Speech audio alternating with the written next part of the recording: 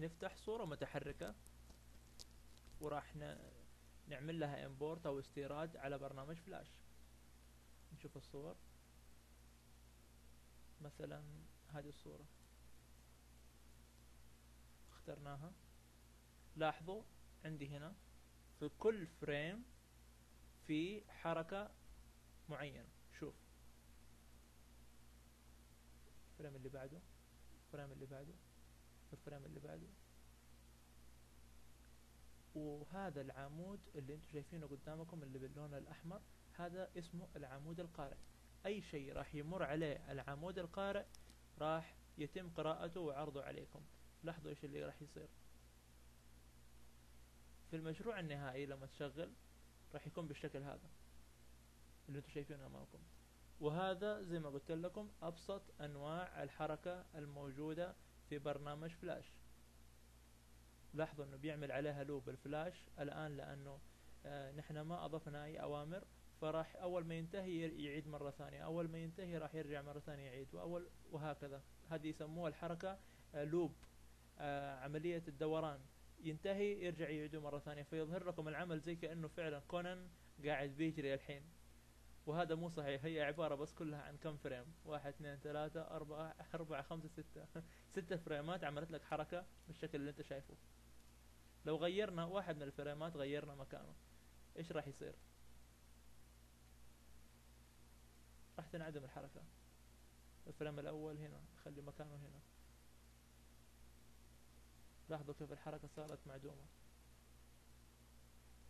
فكل الغرض من الموضوع هذا كله إنه بنبين لكم إنه أبسط أنواع الحركة هي اللي هي frame by frame هذا بالنسبة لموضوع الصور GIF وبالنسبة لنفس الفلاش خلينا نحذف الفريمات دي كلها ريموف فريم نعمل insert key frame عشان نبدأ هنا frame فاضي. شوف لاحظوا ال frame الفارغ بيكون في داخله دائرة سوداء. دائرة فارغة.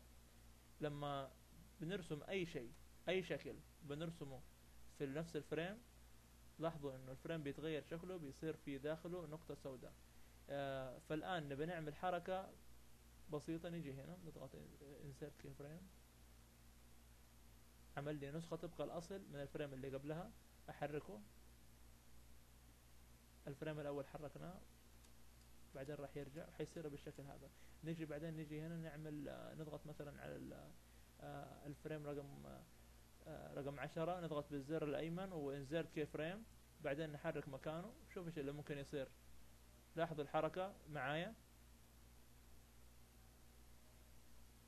الحركة هذه أبسط أنواع الحركة في الفلاش اللي هي frame by frame frame frame frame. okay؟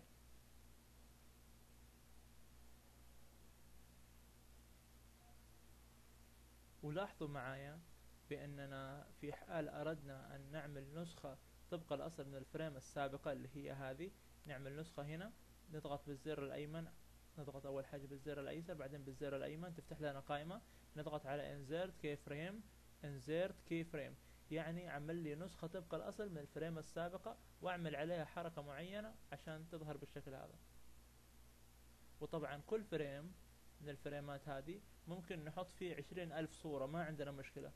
نحط فيه صور نحط فيه مقطع صوت نحط فيه اللي نبغاه ال frame هذا راح يكون كل frame ممكن يكون فيه عشرين محتوى ثلاثين محتوى مقطع فيديو ما تدري إيش اللي موجود في ال frame. يعني بعض المشاريع ممكن تكون تحتوي على frame واحد فقط.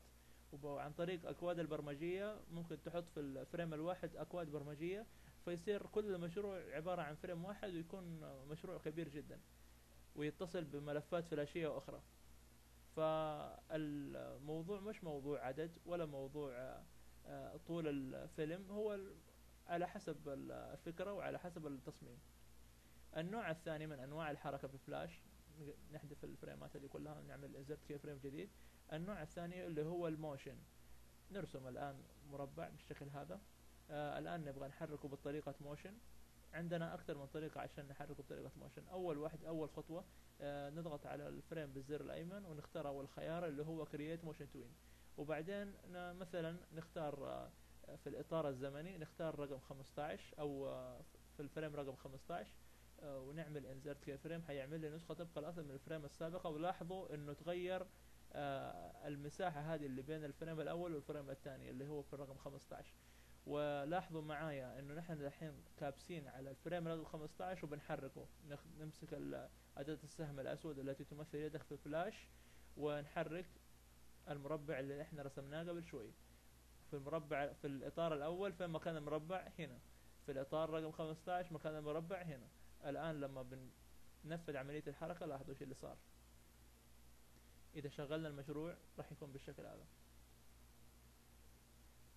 لاحظوا معايا كل ما طولنا المسافة بين الفريمين كل ما طالت بطأة العملية. لاحظوا معايا؟